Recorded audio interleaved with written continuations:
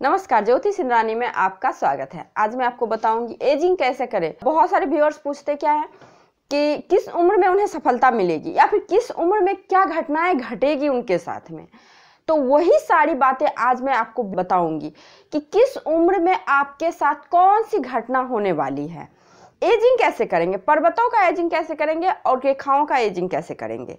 तो जिसमें कि मैं एक मस्तिष्क रेखा के एजिंग के बारे में बताऊँगी, लेकिन पर्वत के बारे में पूरा बताऊँगी कि किस तरह से हम लोग एजिंग करेंगे। रेखा की उम्र कैसे जानेंगे? पर्वत की उम्र कैसे जानेंगे? कैसे हमारे साथ कौन घटनाएँ होंगी? उस चीज़ को जानेंगे। तो आइए हम लोग अपना टॉपिक शुरू करते हैं। तो देखिए, जैसा कि आपको ये हथेली एक दिख रही है, सबसे पहले आपको ये जानना होगा कि हथेली में पर्वत कौन सी होती है। जो कि बहुत सारे लोग जानते भी हैं। स्टार्टिंग से बता के फिर मैं एजिंग के लिए बताऊँगी। तो देखिए, ये आपकी इंडेक्स फिंगर है। इसके नीचे की एरिया को हम लोग गुरु पर्वत बोलते हैं, जिसको कि हम लोग जुपिटर माउंट बोलते हैं, जिसे कि बृहस्पति पर्वत बोलते हैं, ठीक है? दूसरा जो है, ये आपका मिडिल फिंगर तो जिसे शनि की फिंगर बोलते हैं, उसके नीचे की एरिया को हम लोग क्या बोलते हैं? Shani mount, Saturn mount. तीसरा हो गया आपका रिंग फिंगर, यानी कि अनामिका अंगुली। तो अनामिका फिंगर, रिंग फिंगर के नीचे की एरिया को सन माउंट बोलते हैं, जिसे कि हम लोग सूर्य पर्वत बोलते हैं यहाँ पे।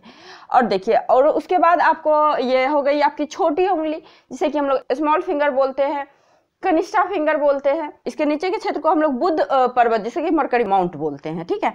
ये हो गई। अब हम लोग जानते हैं एज कैसे पता चलेगा हमें? तो देखिए ये जो सेटर्न के माउंट का जो एज होता है, इस एरिए का जो एज होता है, यहाँ से यहाँ तक को आप देखोगे तो इसको हम लोग 16 साल बोलते हैं 16 साल की उम्र, ठीक है? ये एज हो गया आपकी 16 साल और वही आपका ये गुरु का फिंगर और आपका ये सनी फिंगर इसके बीच का जो है, ये एरिया इस एरिया को। देखिए, मेरे हाथ से आप समझ सकते हो। देखिए, ये जो आपका इंडेक्स फिंगर है, इसके नीचे के एरिया को हम लोग क्या बोल दिए? 16 साल, ठीक है? अब क्या इस तरह से हाथ रखोगे आप? तो आपको क्या, ये आपका शनि का पर्वत है तो शनि और गुरु शनि और गुरु के बीच का जो ये एरिया है, ना कि शनि का एरिया ना कि गुरु का एरिया शनि और गुरु के बीच का जो एरिया है, इसको हम लोग 24 ईयर बोलते हैं 24 साल, ठीक है? अब देखिए, अब आ जाइए आप सेटर्न माउंट पे, जिसे कि हम लोग थर्टी टू का ईयर मानते हैं। इसे हम लोग थर्टी टू ईयर मानते हैं। यानी कि आपके इस एरिए पे यदि कोई निगेटिव पॉजिटिव चिन्ह हो तो इसका इफ़ेक्ट आपको थर्टी टू ईयर में मिलेगी, ठीक है? ये क्लियर है? अब देखिए, अब क्या है? फिर जस्ट उसी तरह करना है हमें। इस दोनों के बीच का सेटर्न फिंगर और सन फिंगर के बीच के एरिया को हम लोग कितना का एज बोलते हैं? तो इसे हम लोग चालीस का एज बोलते हैं, ठीक है?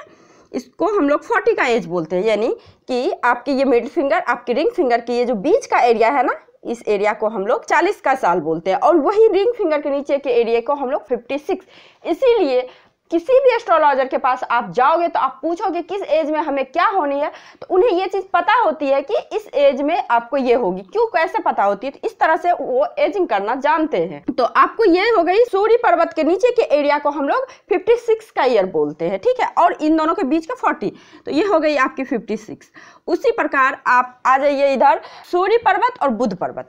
सूर्य का फिंगर बुध का फिंगर का बीच का एरिया ना कि बुध का पर्वत, ना कि सूर्य का पर्वत, बल्कि दोनों के बीच का एरिया तो इस बीच के एरिया को हम लोग 72 ईयर्स मानते हैं। लगभग, देखिए, ज्योतिष अनुमानित किया जाता है हंड्रेड परसेंट प्रिडिक्शन नहीं होता है। तो अनुमानित लगभग 72 का ईयर बोलते हैं, ठीक है? इसी के अराउंड ईयर होता है। इन दोनों का फिंगर का। यानी कि आपके ये सूर्य फिंगर बुध फिंगर के बीच के एरिया को हम लोग बोलते हैं। और अब आ जाइए आप बुद्ध पर्वत। यानी कि आपके ये मरकरी माउंट के नीचे की एरिया को हम लोग 80 साल बोलते हैं, ठीक है? अब देखिए, ये तो हो गई हमारी पर्वत की एजिंग इसी तरह का एजिंग हम लोग करते हैं पर्वत में। यानी कि आपके गुरु पर्वत पे कोई शुभ चिन्ह हो तो आपको 16 साल में उसकी फ़ायदा मिलना शुरू हो जाए। देखिए, अब इसका मतलब सिर्फ़ ये है कि सिर्फ़ ये माउंट का बताएगा। अब इस पे रेखाएँ कैसी है? रेखाओं का किस तरह से फाउंडेशन है? रेखा किस और जा रही है? इसकी शाखा जा रही है? क्या सिंबल बन रहे हैं? तो इसके अलग अर्थ निकलते हैं। ये सिर्फ़ मैं आज एजिंग करना आपको बताती हूँ। एजिंग कैसे करते हैं रेखाओं का? एक चीज़ और मैं बताती हूँ, मस्तिष्क रेखा को एजिंग करते हैं कैसे?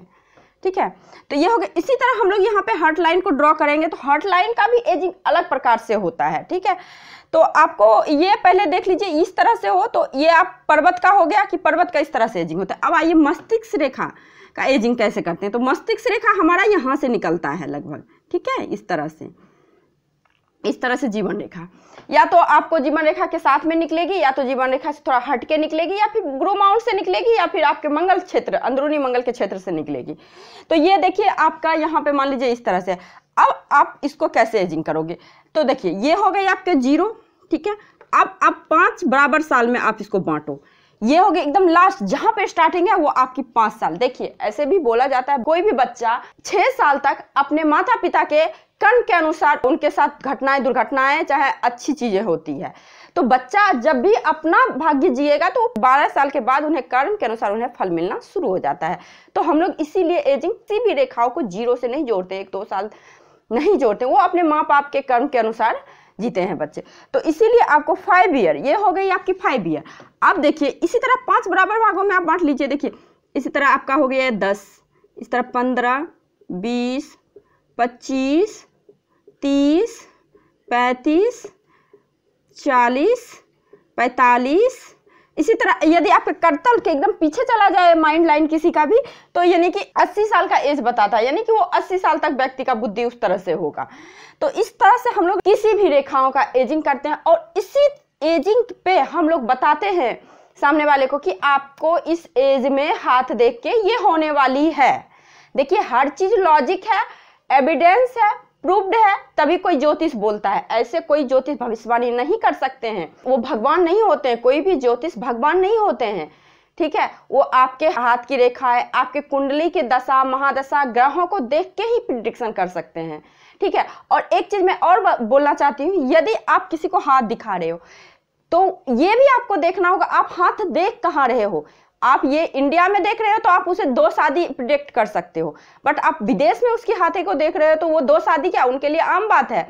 वहाँ शादी का मतलब नहीं बनता है। एक नहीं, बहुत सारे रिलेशनशिप होते हैं। तो आपको देश, काल सब कुछ को देखना पड़ेगा। फिर जाके आपको प्रिडिक्शन करना पड़ेगा। ये नहीं कि सिर्फ़ हाथ की रेखाएँ देख के हम उसे किसी तरह का कोई भी प्रिडिक्शन करें।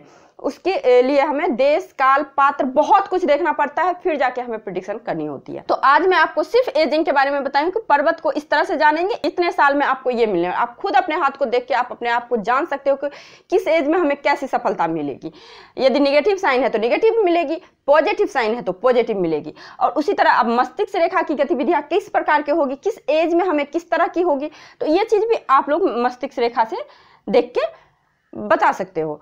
तो आज के लिए बस इतना ही। यदि आपको ये वीडियो अच्छी लगी हो तो लाइक कीजिए, शेयर कीजिए और सब्सक्राइब करना बिल्कुल मत भूलिए। तो आज के लिए बस इतना ही। नमस्कार।